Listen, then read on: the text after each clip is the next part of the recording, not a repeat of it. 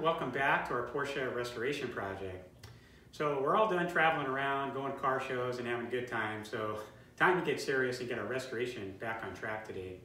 Um, today in this video, we're going to take a little bit of a break from our upholstery work and roll through some of the trim. Uh, you can see I got laid out on the bench here uh, some of the trim and hardware that'll get installed over the top of our carpet and upholstery work. So first let's just uh, do a quick overview of what I have here on the bench. I'll discuss a little bit about what I did to either restore the parts, get them back to new condition, or replace them. Then after that, we'll take them outside on the car and get them installed. Okay, so back into the groove here. Uh, let's just do a quick pan view here of what we're going to try and install in this video today. So we've got seat rail extensions and seat rails. Also our uh, heater control vents. Those have been refinished and uh, ready to go back on the car. Our shifter knobs, we've got seat belt hardware. All uh, reconditioned. Um, door strikes have been rebuilt and uh, new replacement door sill uh, slash thresholds there. Uh, and also rear quarter window trim. We can put some of that on. And then also try and finish up with our um, door jamb molding there. So I think the best way to take this on here, let's just start with something simple here. We'll start with the heater control vents. Um, talk a little bit about what we did to refinish those, and take them outside and put them on. Okay, so having a close-up look then at our uh, heater control slides. So what I did to refinish these, um, these come with a rivet, uh, one on each end here. And what that does is that stops the door uh, from opening and closing uh, and completely sliding off the track there. Um, so what you can do, you can just buzz off the backside of one of those rivets. That'll fall out of there. And then you can pull your door out. Uh, after that, just uh, zinc refinishing uh, with our Caswell system. And then uh, to refinish this door here, uh, original plastic looked a little bit dull and had some scratches in there. Um, so what I did is epoxy primer the plastic. That works really well on plastic. Then did a black base coat and a clear urethane top coat. Um, then once all that's put together, um, you slide your door back in there, and you, you almost need to like sand on your uh, tracks in there, um, just to get the right tension so your slide action uh, works without having to press too hard or pull too hard on that. Once you got everything where you like it, a uh, little uh, dry silicone lubricant in the tracks there, um, then you can go ahead and uh, epoxy back in. I use a little JB weld here on that rivet. Um, you can epoxy that guy back in there and that'll hold real good. Um, and that just fits in place, two screws. We've uh, refinished our original screws just so it looks as original as possible there. Um, so let's go ahead and take that outside, put it on, see what she looks like. And uh, just a little bit of prep work here before we install those would, would be needed. Um, all I've done here is uh, located my screw holes. That was done when we installed our carpet and then uh, brushed out that cavity in there as best I could with some high temperature stove paint. Uh, if you black that out in there it looks a little bit better. The door's open you might see in there. Um, just finishes it off a little bit better. Okay, let's get those in place, see what they look like. And then just drawing this down so she's just biting into the carpet. it's plenty tight up against there. That should be just fine. And then same thing back here, just enough to where it's drawn down, biting into the carpet. It would be very easy to strip this screw and over tighten. All right, let's take a look at that. That's gonna work out real good and then our other side. So once we get our first screw set up here, uh, best way to find that second hole, it'll be in the ballpark, but using all kind of get you in there, and then we can put that screw in there.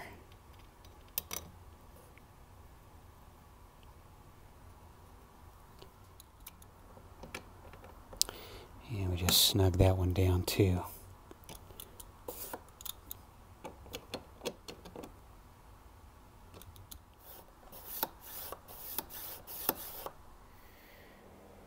All right, and then moving on to our uh, seat rail extensions and seat rails. So what I've done to refinish these, uh, just re-zinc plated, these are original rails. And uh, after zinc plating, I've taken a metal polish, I used a Blue Magic, and uh, polished up the side of the rail, uh, top edge here also. And what that's going to do, that's going to give us a little bit better sliding action on the seat. Once it's all put together, we won't have to rely too much on grease to get it to move freely. And then our seat rail extensions, these are the originals. Um, these come up really nice. Um, in, in stock form, these are just painted. uh, from the factory, and it's a real thin paint on there, and it just has tendency to flake off. You get a little bit of rust under there, rust pitting. Uh, but uh, a sandblast uh, with two coats of POR-15, get a real nice finish on top of there, and uh, no problem reusing those. Okay, so then looking at the fasteners, uh, pretty much replacing most of the hardware uh, mounting the seat rails and seat rail extensions. Um, you can see here, here's the part number I got from Stoddard. Um, and they're, they're calling out for 28 screws and washers to, uh, to do the whole set. However, um, in my car, I had two different lengths bolts, and uh, I think the reason they had a shorter bolt on some of these is uh, one of the rails, there's a fuel line running right underneath the rail. So if you run this longer screw in here, uh, you could actually run into your fuel line, and uh, that probably wouldn't be too good. So you want to make sure um, the fuel line that runs underneath those bolt holes is either pushed far enough away where these will clear. If not, uh, you're going to have to go with a shorter screw in there. Um, this one I couldn't find from Stoddard, so I've gone ahead and just refinished my originals for that rail there. Okay, let's take these guys outside and put them on. So let's just take a look at that fuel line running underneath that area there. You can, see you run that bolt down in there, getting real close to that guy. Um, I know from having worked in that area that the fuel line is uh, tied off and secured really well in there. Uh, so the, really the only concern we have here is a length of screw going down in there. So uh, just something to look out for. Double check your length on that. Um, you can run something down in there to take a measurement just to make sure you're not going to be rubbing up against it. Alright, and then moving on to our uh, seat rail extension. So you can see here in the body we have uh, underneath this area we've got floating nuts.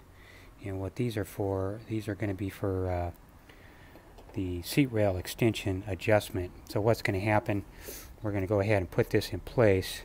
Um, we can tighten those screws down uh, to some degree but we can't really tighten them down to where this doesn't move because what's going to happen um, once we get our uh, seat rails in place and then we mount our seat into the rails uh, we're going to have to either adjust this this way or this way or this way or this way um, depending on the tracking of the seat. So the seat's really going to dictate what needs to happen with these rails in their final position. But for now we can go ahead and just mount it in there uh, slightly snug and that should be good. So I've got it sitting in place now. You can see the side to side action uh, up front and also in the rear here. Plenty of adjustment there. Um, so what's going to happen, uh, we'll mount our seat in place into the rails. Um, these ones here on top will be tight, uh, so they're not going to move. And then um, we'll slightly snug this down uh, to where it barely moves. And, and then once we start sliding the seat front to back, um, that'll kind of track it for us. It'll straighten it out, true it up in line with the other tracks, and then, uh, then we can go ahead and tighten it down once we like everything. So real important to have a little adjustment in there, uh, make everything work out just right. And then setting up our rails, uh, one thing we want to do, just to make sure we're going to tap down all our holes here, just so everything threads in there nicely once we get running our bolts down in there. Um, I have not found any uh, final torque specs in the manual as to uh, what torque specs should be on those bolts, uh, but I didn't think I would find any. Uh, typically, when you have an Allen type bolt or screw. Um, you're just tightening it down snug. Um, the bolts are hardened. The, the steel inside this body here is not. be very easy to strip that out. So um, in my mind, we just want to torque it down till we're tight. Everything feels snug and then stop right there. Let me run those in there. We'll get everything set up and then we'll uh, do a final torque on everything. Right about there. And then everything uh, everything in place just so we got a good wiggle there kind of seat itself. Uh, once we got everything where we want it just snug those up. All the way up and down. Right about there we can always go back and tighten them down more later but if we overdo it now it would really be a problem for us.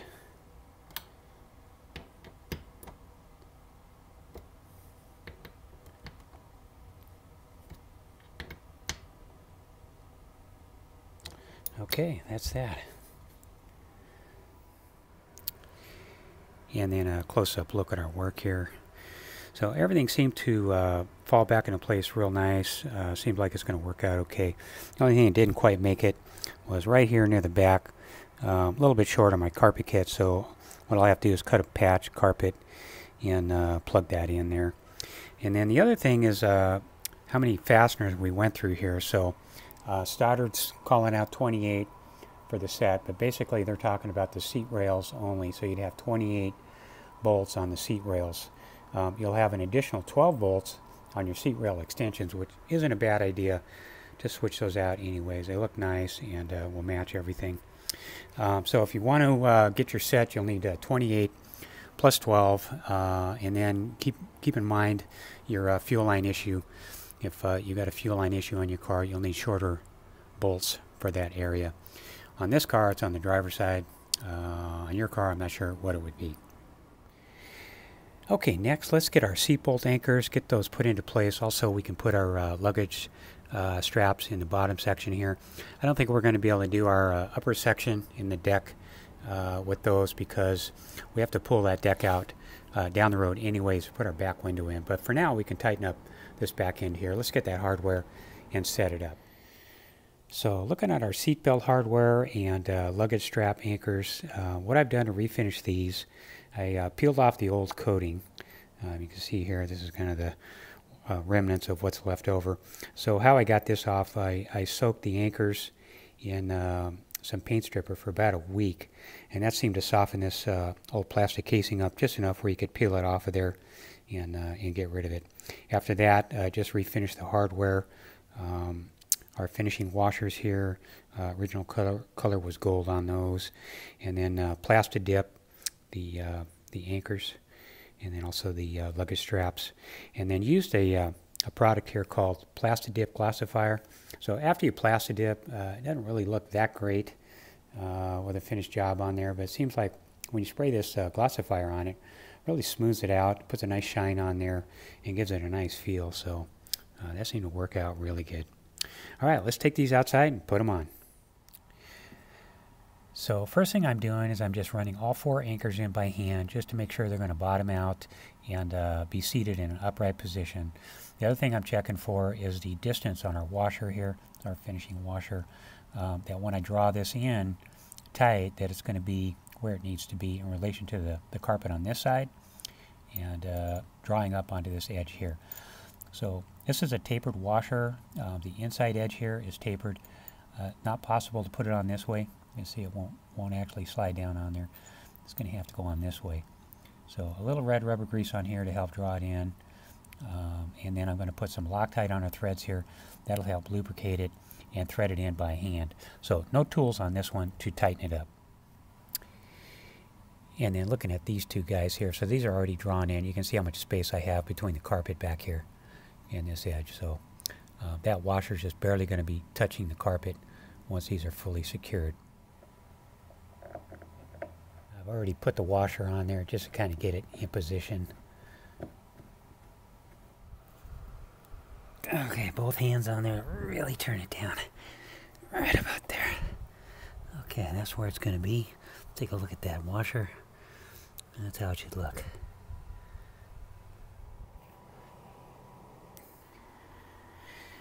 Okay, fully bottomed out. That's what they should look like. Clean up that grease there. And then on the back side here. Alright, looking good. And then our luggage strap anchors, uh, pretty straightforward. The only difference uh, between them would be the screws. So this straighter screw here, this is going to go towards the uh, footwell uh, down inside the car. And these uh, ones with the tapered point here, these are going to go up on top of the deck. Let's go look at that and see why that's there. Okay, looking at those tapered screws uh, from the top side here, let's get in here a little bit of an angle. So you can see as it's drawing down there, uh, if you don't have that tapered point on there, the screw is going to hit the body uh, before it draws up and gets seated. So that's why they put the tapered screws there. Next, we're going to go ahead and install our uh, shoulder harness bolts. Uh, just going to have to feel around the upholstery for the uh, location of this, poke a hole in it. Um, also, we'll Loctite this and uh, run it in with our hand screwdriver.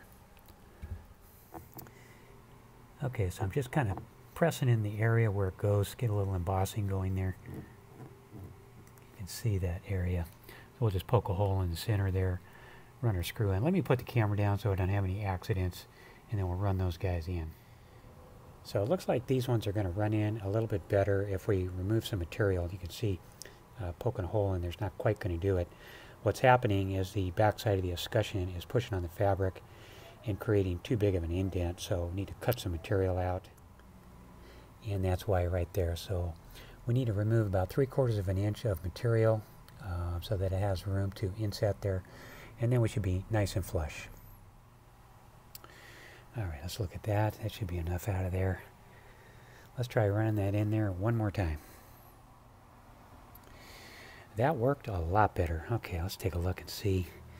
Everything seems to be drawn up real good there. There's a proper indent and looks nice and clean. So here's a close-up look at our new replacement sills from Porsche. Um, compared to our originals, uh, texture and uh, scale, exactly the same pattern. Uh, the only difference really would be the uh, sheen on the originals were a little bit shinier, a little bit deeper color, and our new replacements are uh, more of a satin finish. Um, the fit is exact. The only thing I had to do, uh, just relocate a few holes um, in relation to the original hole pattern. Other than that, uh, these are ready to go. So we've already pre-fit them. Let's take them outside, screw them in place, and see what they look like.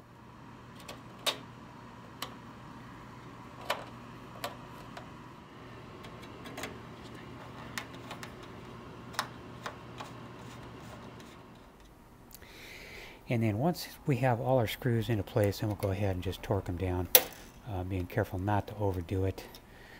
Uh, stainless steel screws are very brittle, they're hard, but they're brittle. Tighten everything down.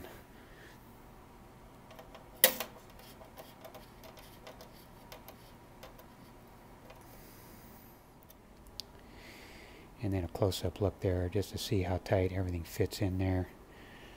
Real nice fitment from Porsche 50 years later. The back of that thing, right on the money. So if you had too much buildup in paint, that could be a problem with these guys. Might have to do some filing. All right, let's go ahead and move on. Uh, let's get our door strikes, put those in, and then we can wrap up these jambs. And then a close-up look at our door strikes here. Uh, so what I've done to recondition these, um, I bought a new replacement kit of the internal parts from Stoddard. That fit really well and worked out really good. Um, but you'll have to get them apart. And how I took mine apart, um, these two pins here from the outside, got heads on them like that. From the backside, you'll have to drill out that pin until it's free.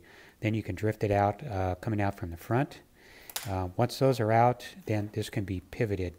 So we'll want to leave this pin in place. Um, these center dowels will come out, and then this thing will rotate. It'll stay put together uh, by that pin, but it will rotate, which will gain access to the internals. Uh, then once you switch those out, you can rotate it back, drift your pins back in location there. Uh, everything lines up good and then epoxy them back in there. Um, wasn't too bad, a little bit of a wrestling match getting them apart, but um, once you get it apart, you'll see what needs to happen there. And then uh, also some shims that go on the back side of these. Um, these are replacement shims from Porsche. I've labeled them left to right. This was the uh, thickness of the shim that I took out of the car when I took the car apart. Uh, I'm imagining we're going to be right in the same location when we put them back, um, as I haven't really done any body work to the jamb. So let's go ahead and take those out, slide them on, and see what they look like. And then just like our uh, seat rail extensions, so we have an adjustable backing plate. Uh, I'm going to clean the threads out with a tap first. You see quite a range of adjustment in there.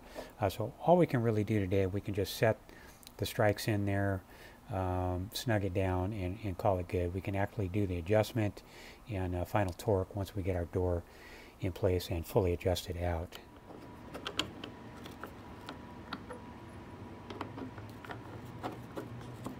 I think right about there.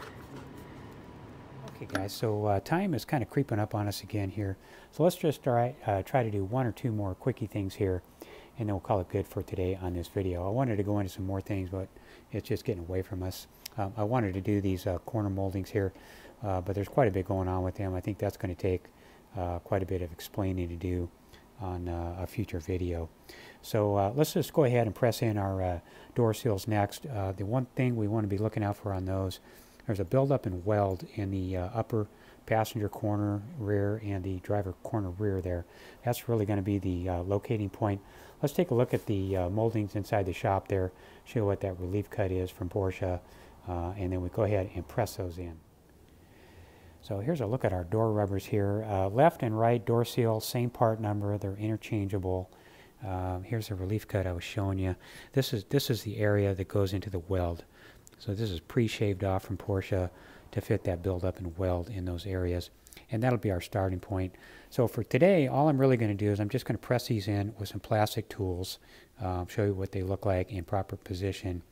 And uh, all that's really going to do for us is uh, start stretching them out and uh, getting them getting them to conform to the shape of that area. We will have to do probably a little bit more precise fitment. Uh, once we install the doors, they may need to come out or be pressed in. So uh, no glue at this point. We just want to press them in there, see what they look like, and then uh, we can go from there. So this is our starting point right here. So we're just going to put that over the weld that tucked up in there. We're just pressing everything in.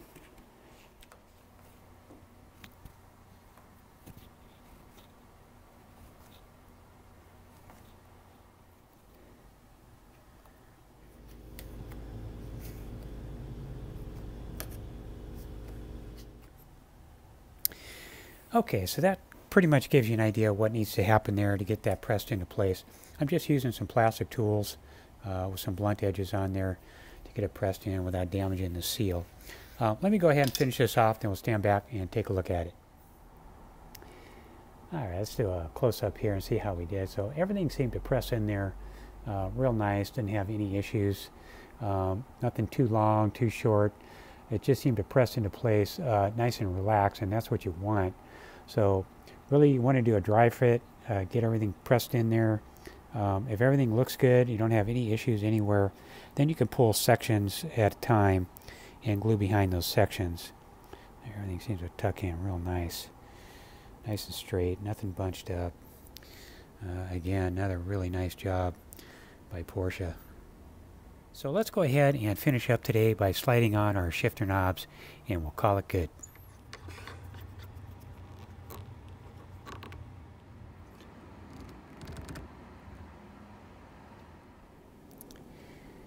Well, we're starting to mow through some parts, and as you can tell by this video, um, everything down to the smallest detail, uh, even the smallest washer, the smallest screw, everything uh, Porsche engineered was worked out down to the, the finest detail. Can't just throw it in, really got to take a look at it, uh, work it out, make sure everything's going to work out just right. Well, thanks for tuning in, and we'll see you next time.